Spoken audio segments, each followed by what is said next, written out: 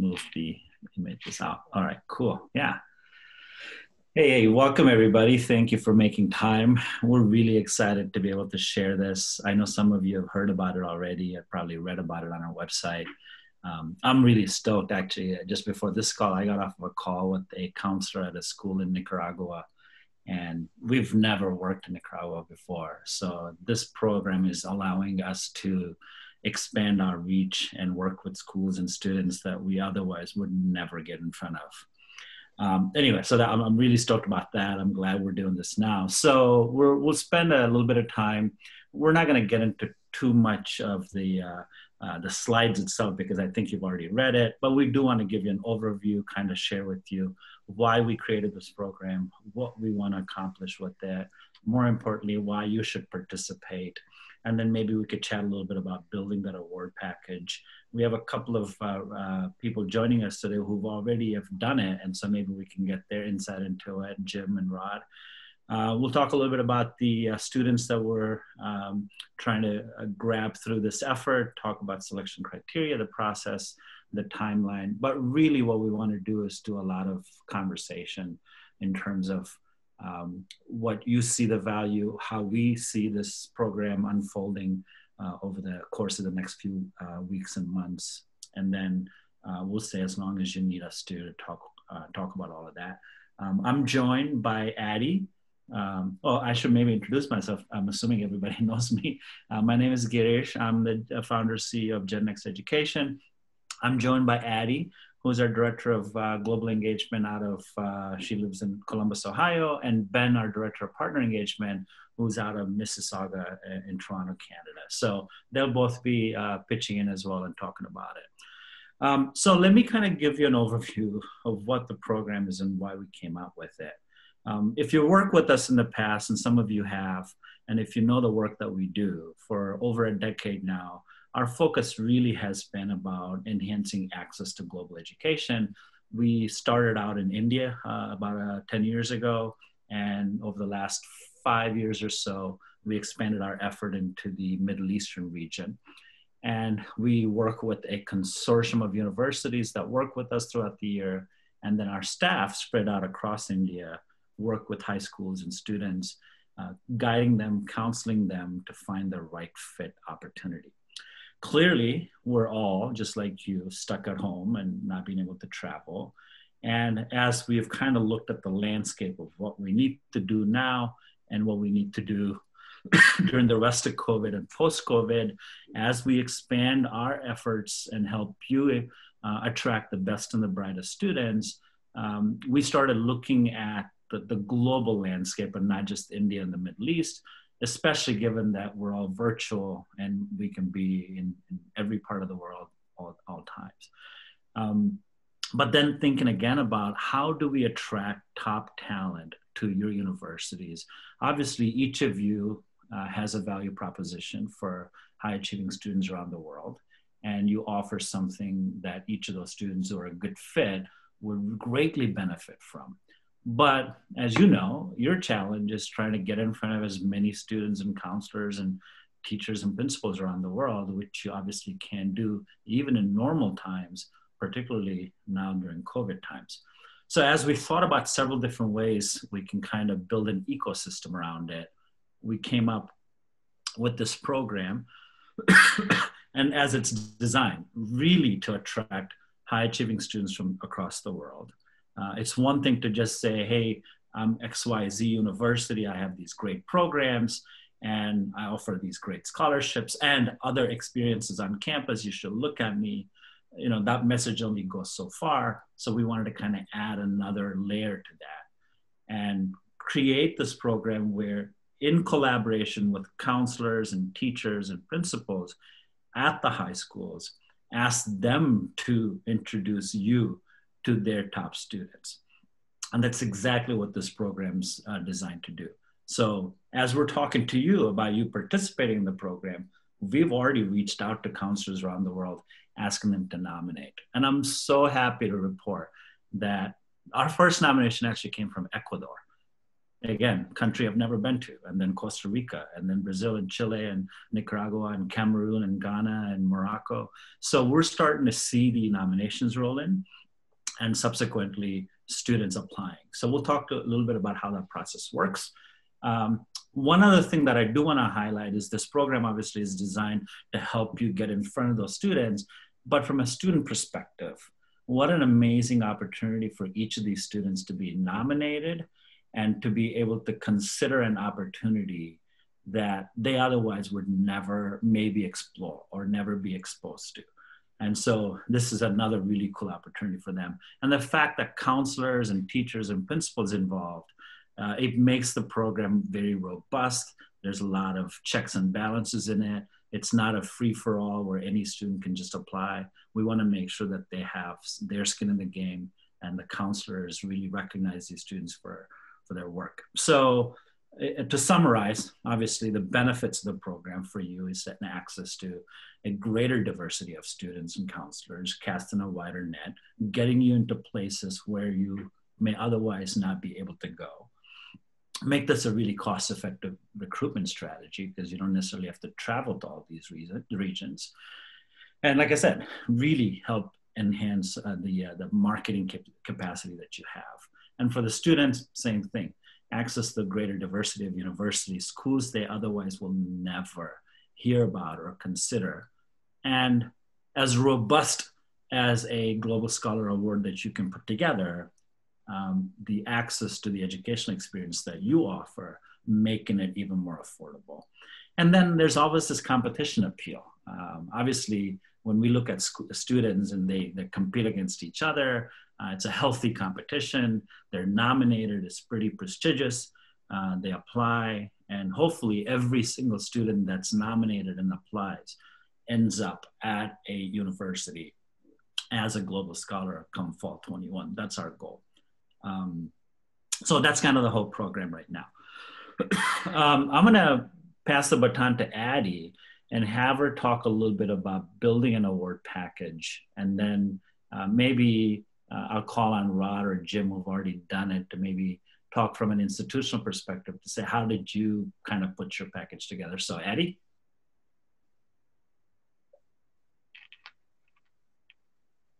I can't hear you. There we go. There um, yeah, and then we need to backspace just a little bit. So um, yeah, happy to talk about it. And Girish, of course, Ben, chime in. Um, you know, if you have anything to add to this. But you know, one of the first things that that we would recommend doing is, you know, when we're thinking about a really competitive merit scholarship, look at what you already have in place at your institution. Um, don't necessarily need to look for new money. Um, I know that there's probably not a whole lot of new money running around your budgets right now, so you probably want to look at what's already there. But what we're really striving for is the most competitive merit scholarship and maybe just a touch above that. If you can meet it or exceed it, that's what we're looking for.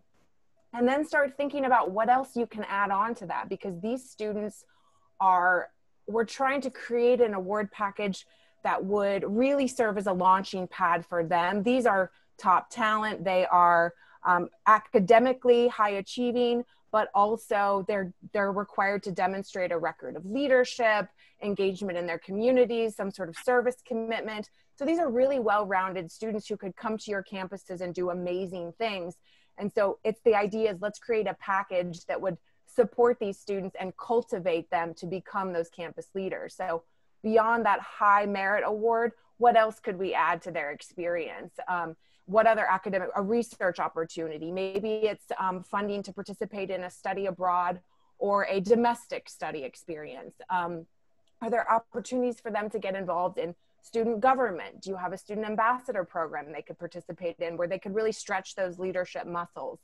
What about service opportunities? Not everything needs to be um, a guarantee to the student to be part of the package. It can also just be they're eligible to apply to participate in a student ambassador program. I'm going to pick on my colleagues here from WKU. I know that we have student diplomats um, at, at Western Kentucky University uh, an award, um, a Global Scholar Award from WKU, I could envision including an opportunity to apply to participate in the um, the uh, the student diplomat program at Western Kentucky University. I'm sure many of these other, the other institutions represented here today have those components as well. The other thing I would say is think about it representing your institution. If you are known for undergraduate research, that should be a part of the award. Um, if you're known for your internationalization and your study abroad, obviously right now that's that's not as feasible but you know we're looking at a four year career for a student so down the road that's definitely something they could pursue um, so definitely think about your institutional identity and make sure that that's represented and then you know the other thing is you determine the quantity can you offer can you afford to offer one can you offer three um, you know we're going to talk about this in just a second being able to put together three four five awards um, you know that that would be ideal. We'd love uh, multiple awards that would definitely attract more students, but do keep in mind that you know it's really up to you ultimately how many you end up awarding. If you can piece together three, piece together five, outstanding. But if if ultimately we present you with 10 students, you've got five awards in place, but only four of those students really fit your criteria, that's your call. You may only want to award four. Um, I feel like I'm getting a little bit ahead of myself there, but Girish, is there anything else you'd want to add to that in terms of building an award package? The only thing I would kind of reiterate or highlight is the fact that this doesn't have to be new, right? It doesn't have to be, oh my God, we got to create all these new opportunities for these students. No. Uh, we recognize that many of these components already exist on campus. Maybe you don't assign a faculty mentor to every uh, incoming freshman, that's something that you could probably include in this award because that adds a lot of value to the student. Maybe not every student can automatically be admitted to the honors program, but maybe through this award program, there's a better chance or a higher chance, or there's some kind of a, a ability for you to put them into the honors program. So knowing that many of these components already exist on your campuses, but they're all over the place. So if I was a kid sitting in India or Cameroon and I research your institution, first find you and then research you, would I be able to find all these opportunities? Maybe, maybe not, because a lot of what I have seen over my years of working is uh, the merit scholarships. Yeah, we talk about honors programs and other things, they're all there. But this award package, you know, kind of compels you to bring all of that together. And then we present that to the students, which obviously is very attractive. So I just wanted to reiterate that.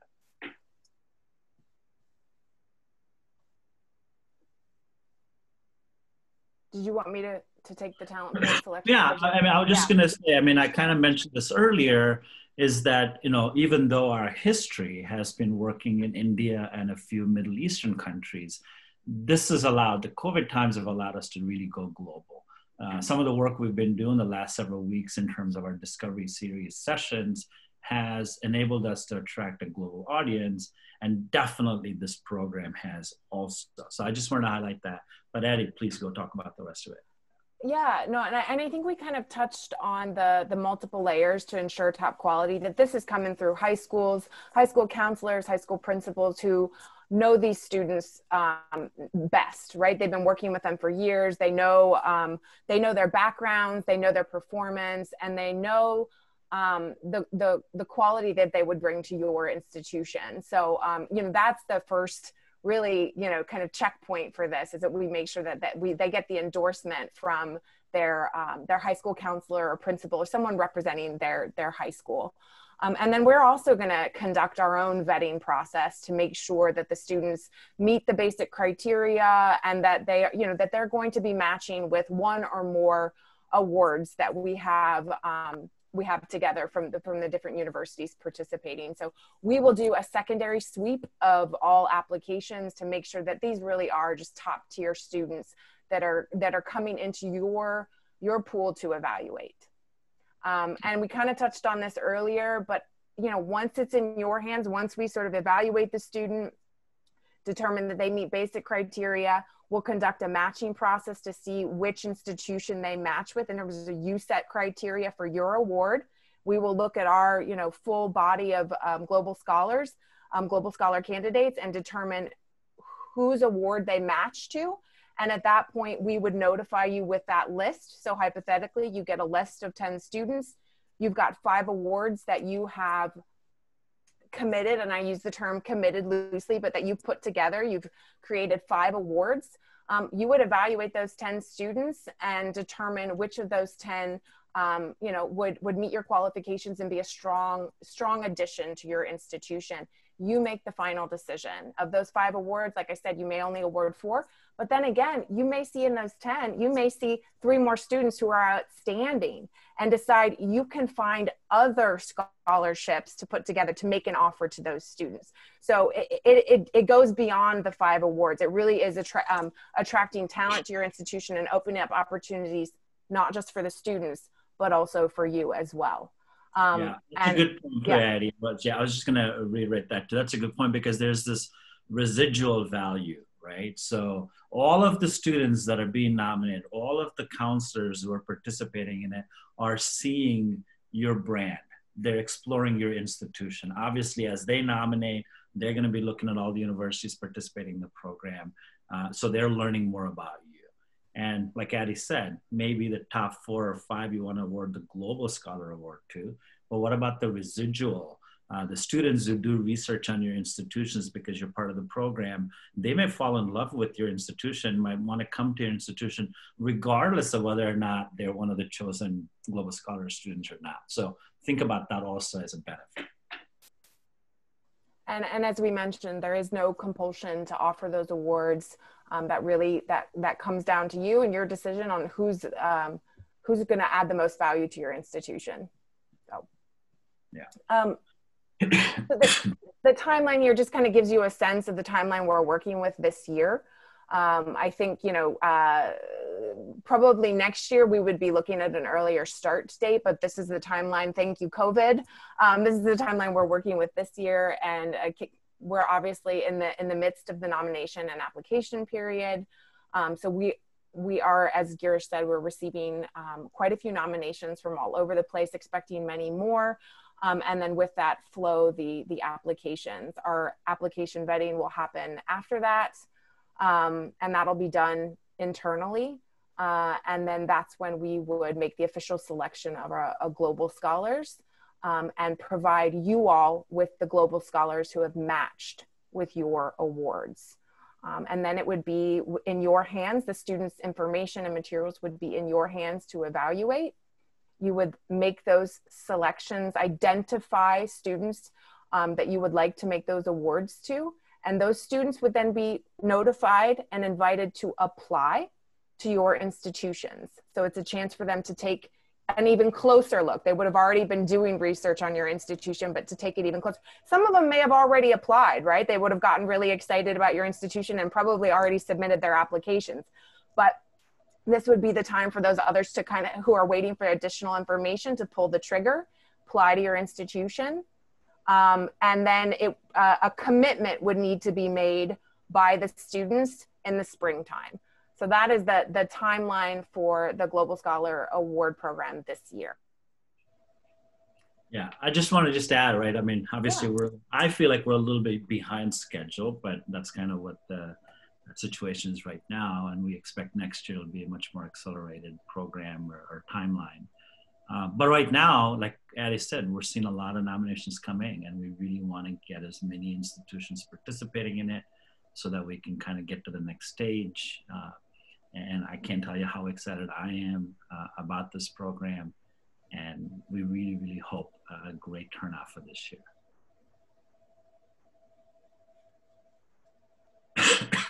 so I think at, at this point, yeah. I mean, if there's anything else you want to add, I want to leave leave lots of time for questions.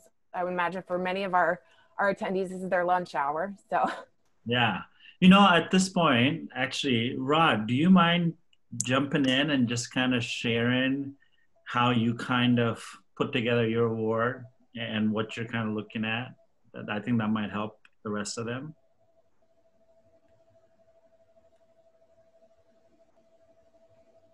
You're muted, I think, Rod. Sorry. Well, um, through the conversations that I've had with um, Girish and Addie, I've been trying to work with existing um, awards that we have.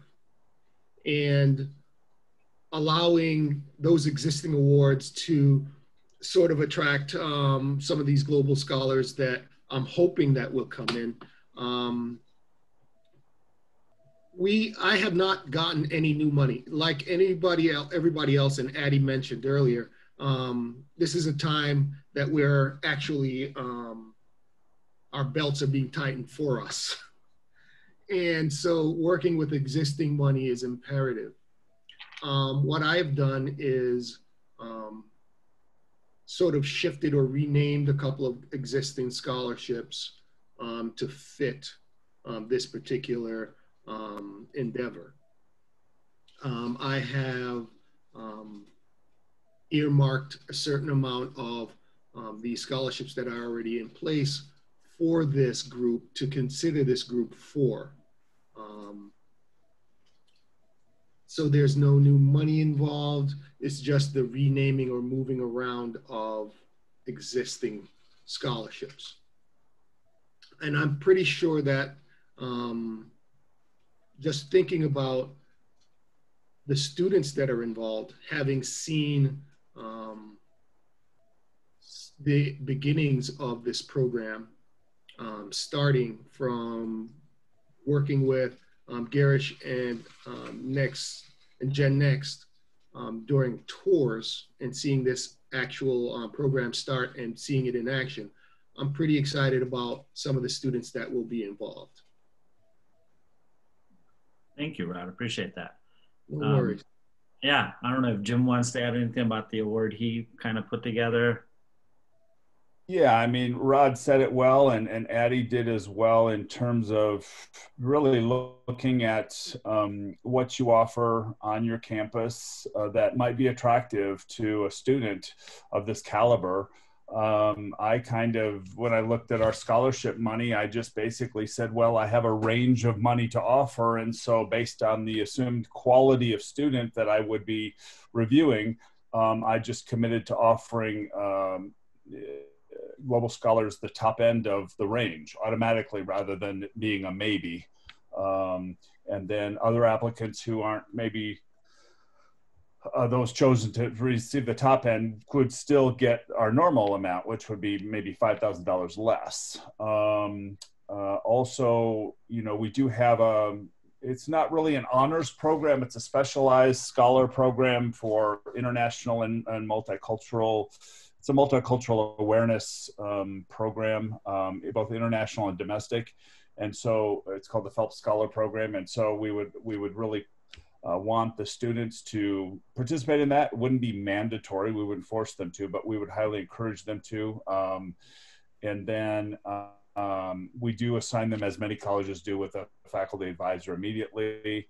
Uh, yeah, and then I'm starting more of a, a more active um, kind of global ambassador type program. So they would be um, kind of uh, unless they chose to to not be involved, we would we would want them and encourage them to be involved in that as well. So, you know, as Addie said, it's kind of like some of these things are kind of invitations to do this, um, as opposed to you know being kind of force fed. But I think the more opportunities you give them um, including like was mentioned earlier with uh, research and potentially internships and things like that. But I think especially if they're in STEM, they want to know that they, you know, have access to the research facility. So, um, yeah, I think it was. It was totally pulling together stuff that we already do, um, that we already offer, uh, that students kind of already take a look at, but putting it into one package to make uh, make it look attractive to to these students.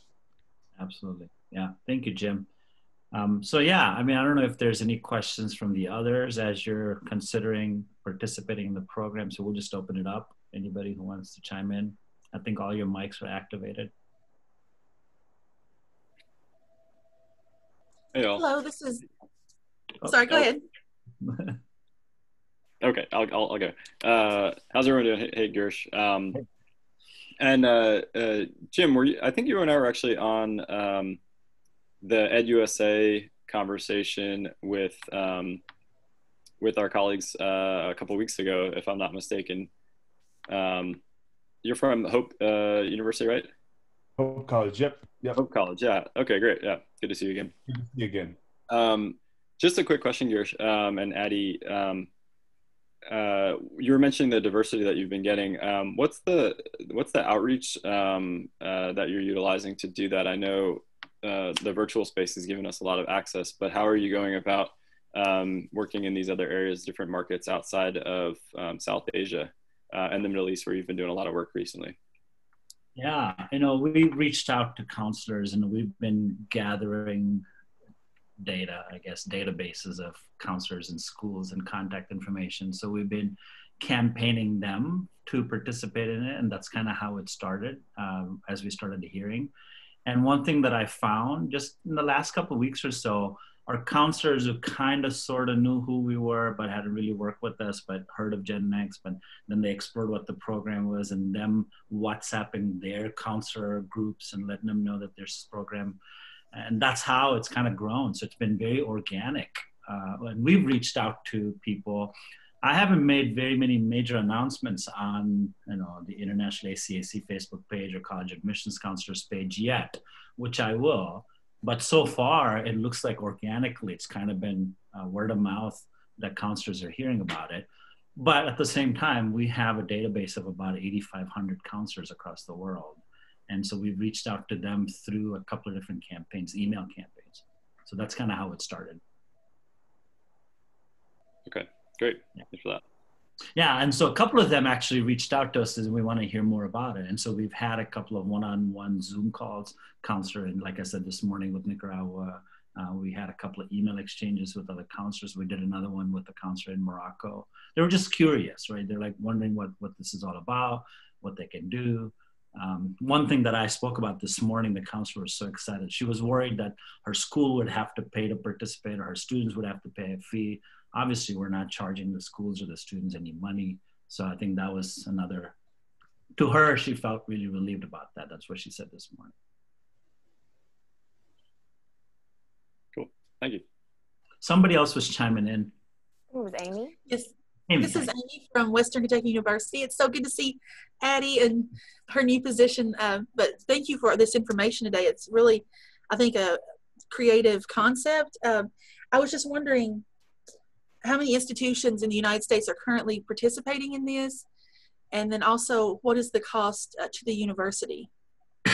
Sure. I mean, right now, we've only had, apart from all of our partner institutions, which George Mason is one of them, waiting for them to commit to awards. Uh, there have been, uh, all of our partner universities have, and like I mentioned earlier, Rod has and Jim has, uh, they're non-partners as we call them, who are participating in it. And we're hoping not just for American institutions, to be honest with you.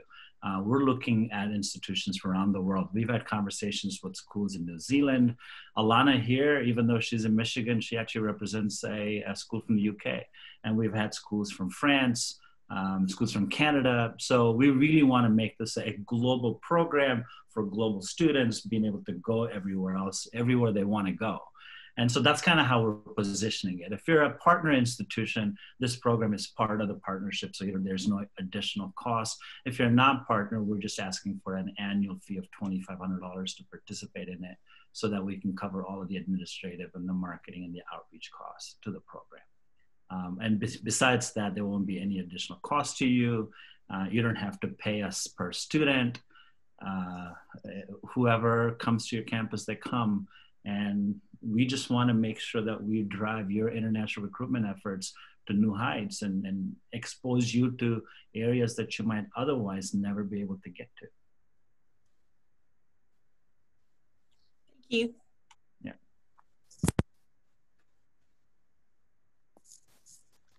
Any other questions?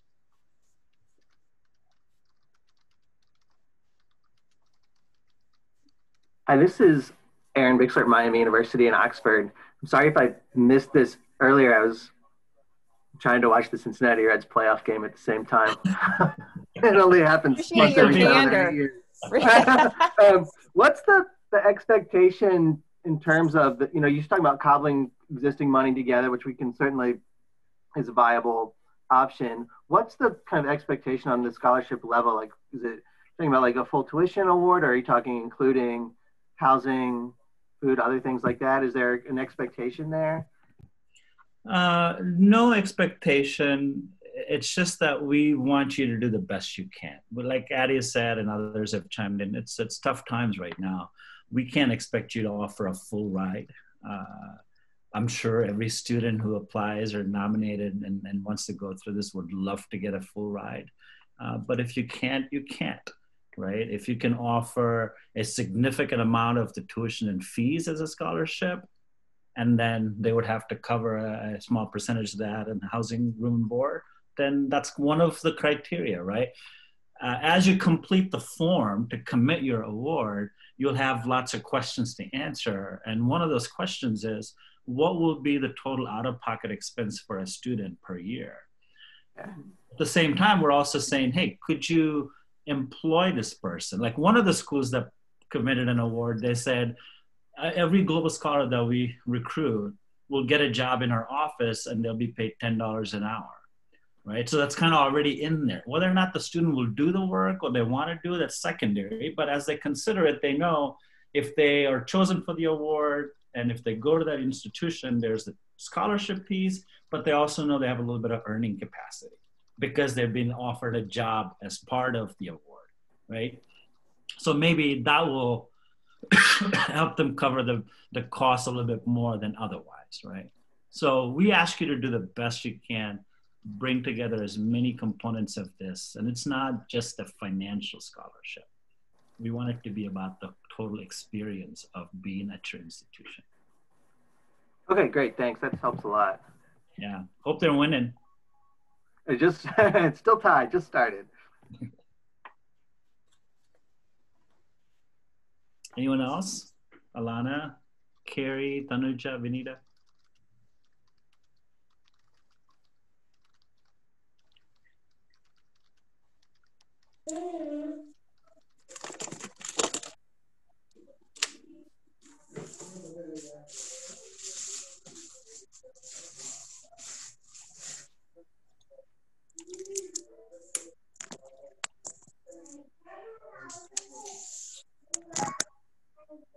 Uh, looks like no. Okay.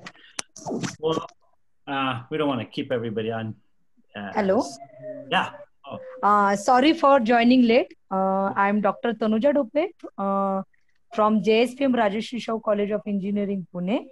Okay. Uh, so because of some internet issue, I joined the meeting late.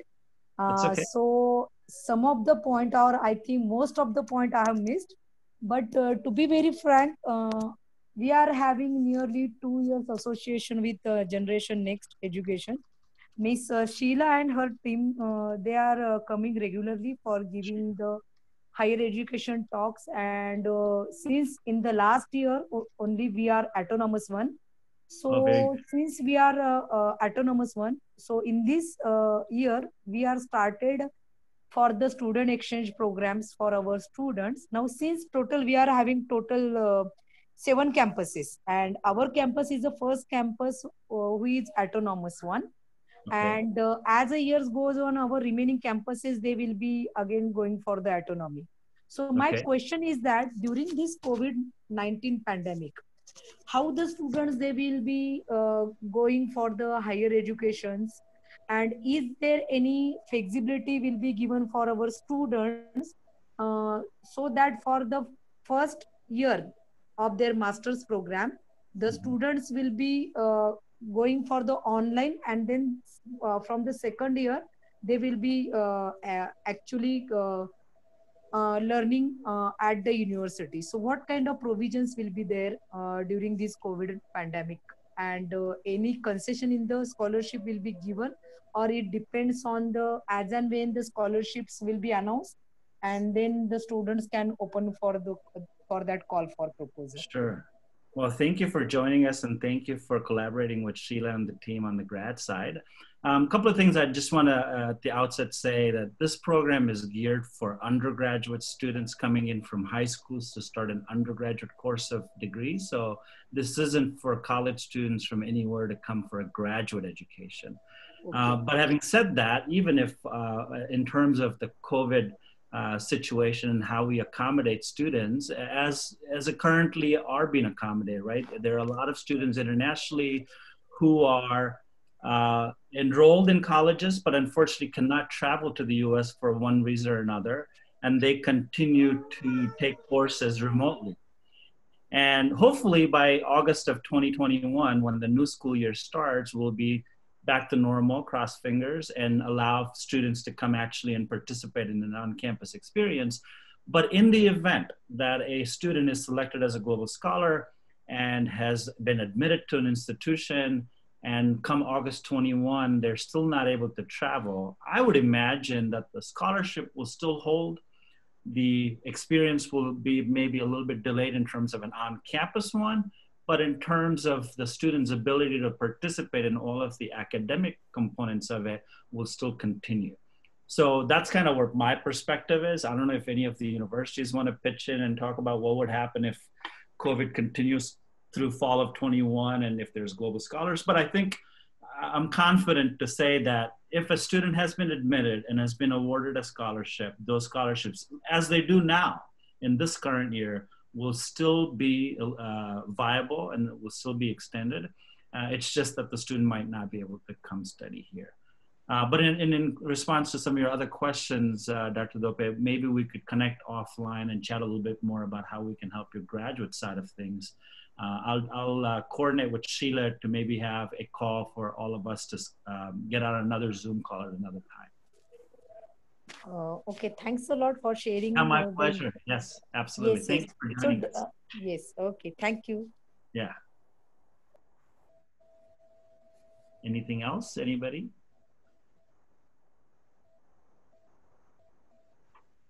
Okay. Well, if no questions, thank you for joining us. Uh, again, you'll see the website listed on there, uh, gennext.me slash global scholar. Uh, be careful with the uh, uh, capitalization there. It's a case sensitive website. Or you can always reach out to us at global scholar at gennexteducation.com or you know where to get a hold of us with our email. So uh, we really look forward to having you participate in it. Uh, please uh, think about putting together an award, even if it's just one.